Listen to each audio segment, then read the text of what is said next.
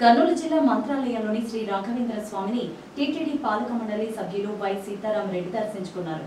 వీరికి మొదటిగా శ్రీ రాఘవేంద్ర స్వామి మఠం పిఆర్ఓ నరసింహమూర్తి ఆలయ మర్యాదలతో స్వాగతం పలికారు. అనంతరం గ్రామదేవత మంచాలమ్మని దర్శించుకున్నారు. తర్వాత శ్రీ రాఘవేంద్ర స్వామిని దర్శించుకొని అర్చకుల చేత తీర్థఫల మంత్రాక్షతలను పొందారు.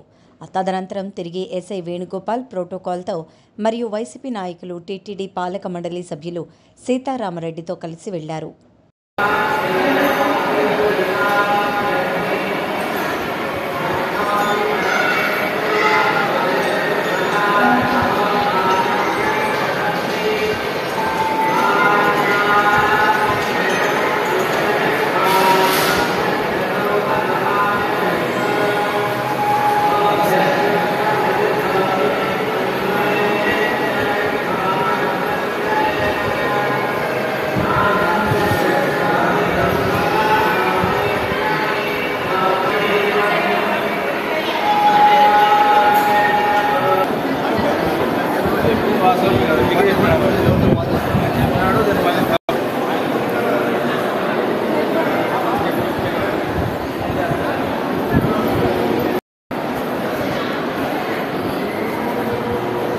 didn't